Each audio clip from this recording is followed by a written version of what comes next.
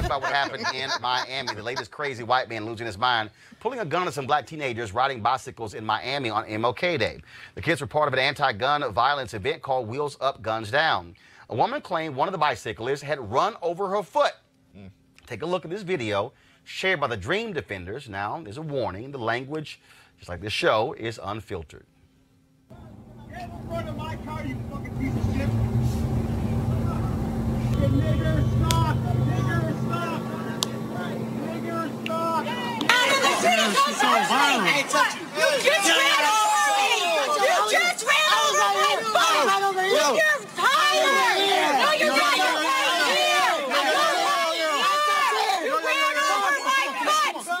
You just touch me, you bunch of thugs! Fuck you, bitch! Fucking white ass. Dipping, bitch. Whoa! Get the, who did? Who did? That guy in the red. Yeah, right behind this guy. You ran over my foot. Shit. You fucking losers. You ran over my foot. Fucking stupid niggas. You guys keep moving. Fucking dumbass fucking niggas. And this guy right here. I'll be on the news. Y'all gonna make the news. That's fine. All right. Hey, fucking idiots. Y'all stupid niggas. Listen, you stupid niggers. Put that gun in my head, stupid bitch. No, bitch. Well, guess what? That gunman, Mark Bartlett, has been charged with carrying a concealed weapon without a permit. Bartlett was booked into the Turner Guilford Knight Correctional Center. telephone conversation with Miami Channel 10 news reporter Madeline Bright, Bartlett said this, quote, the reason why we use that word, the reason why Chinese people use the word, why Japanese people, European people, the reason why everybody uses that word is because black people use that word. Oh, Jesus.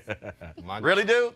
We all we all knew the word for Puerto Ricans is spick. We all oh, knew Asian people as gooks or whatever. Jews, we knew about Jews. Y'all, y'all, y'all noticed he wouldn't. No, he, he, he, said, he said, well, I can't go that far. Yeah, he, he, he, he wouldn't use, he, he, wouldn't, he wouldn't use that word. He goes, nobody uses those words anymore. Why? Because Puerto Ricans don't say that to each other. Because Asian people don't say that to each other. Because the Jewish people don't say that to each other. The only ones that continue to say it are black people. So what's the first thing in my head, or, or most people's heads? Unfortunately, it's the N word. Really, really, dude? Really? That's that's that's that's, that's it. Joining us now is Dwight C. Wells, founder of Bikes Up, Guns Down. Uh, he was there when all of this happened. Uh, glad to have you uh, on the show, Dwight. How you doing? I'm doing fairly well. Thanks for asking. So, so we see the video. So this woman claims somebody ran over her foot. So, what was the actual event like? So, so what were folks out there on their bikes for? Was it a parade? Was it well, what was the event? Well, well we, we, were having a, a, a, Martin Luther King parade in Miami-Dade County, and um, it's a housing situation that's going on in Miami-Dade County due to unfair housing. And the kids, along with their parents and volunteers, were out protesting against the affordable housing living due to the gentrification and them tearing down the urban communities in Miami-Dade County. Um, what took place was kids were protesting because the AMI um, for Liberty City, which is a historical landmark that was one of the second built public houses in the United States of America, um, in the southern atmosphere of the United States. So to um, see that the AMI now is at twenty four thousand and four hundred dollars, and the AMI that the private sectors is coming into Miami with is forty eight to fifty two thousand dollars, and those people don't meet the AMIs of that of that corridor okay. of the city, and um, what happened was Miami Dade County took and leased the public land for um 307 million for 75 years. So Dwight, so so Dwight, you, you so so yesterday folks were uh, expressing their opposition to that, and what I'm saying is, was yeah. this was this in a park? Was it on? A, so where was the event taking place? Well, we was in Brickell. We was in downtown Brickell, Miami, and uh, the kids were um, protesting. Um, and the guy by the name of Mark got out of his vehicle. First is um. Well, for, for, hold on, hold on, Dwight. Dwight, one second. So the woman, okay, for her, was she just walking downtown? What, like, where does she come she from? She was in a Range Rover truck. She was in a Range Rover truck with Mark. They're in a relationship. Um, they don't have the same last name, so I'm reckoning that they're boyfriend and girlfriend. So, so one second. So the woman, I'm trying to understand. The woman was in a vehicle, and Yeah. she, so she got out of the vehicle to accost the young men, and then that's when she claims they ran over her foot on a, with a bike. she got in her car and she was saying she had to get a kid from school. Kid was like, "We're protesting." I even stated to her, "We're protesting about our unfair housing." And um, she went to the vehicle, and we proceeded from one part of Brickell to the bridge. And as we got to the bridge, she was wondering why traffic being holed up. And out of hundred cars that parked on her Brickell Causeway, she was the only woman that jumped out of the car. And um, her significant other came minutes later and produced a gun on not just African American kids, but Hispanic kids as well. Um, Bikes Up Guns Down symbolize a community of kids Right. and young adults from all different parts of the culture. Um, first of all, just just for folks who know, so so one of the things a lot of people out here have been saying that uh, television outlets they they should be interviewing these kids like. The, uh, the white kids in Covington, uh, well, all the drama over the weekend. Uh, just so everybody uh, knows, uh, we, of course, we reached out to uh, family attorney Lee Merritt to have some of them on the show. This is what our booker said. Their parents don't want them to be on television, and Lee Merritt says no. Uh, and so that's why we booked Dwight. So everybody out there who keeps saying, why isn't media putting these kids on television? We tried to get them on the show, but their parents have said they don't want those kids to be on television. And the, the family attorney, Lee Merritt, he also said that they uh, will not be making appearances. So that's why we have Dwight. Uh, last thing, uh, Dwight, um, do you have any plans to change future protests? Uh, because clearly, you know, somebody could have been hurt if this guy decides to fire a gun. Yeah, um, we're we're um planning that now to get um the proper uh, officials out. But what's going on in Miami is, a, is, is an academic moment. Um, is is really at an all historical low number when it come up to jobs Right. out and out, out through the inner cities. And when you got to make a move, you got to make a move and let these people know we're for real.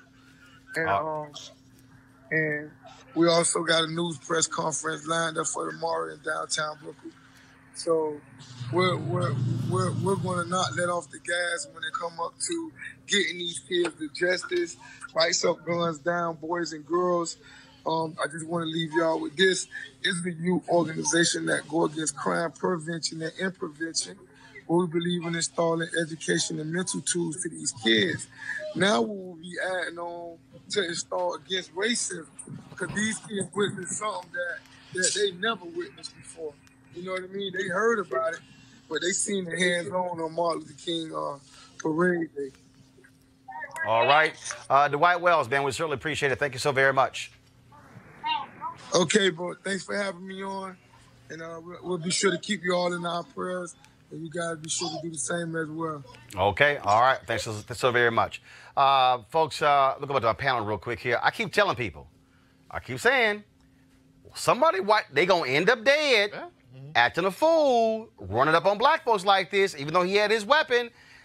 Try to, he going to run up against the folks, and they going to have four or five of their own guns. Yeah. Let, us understand the power of white privilege in this moment.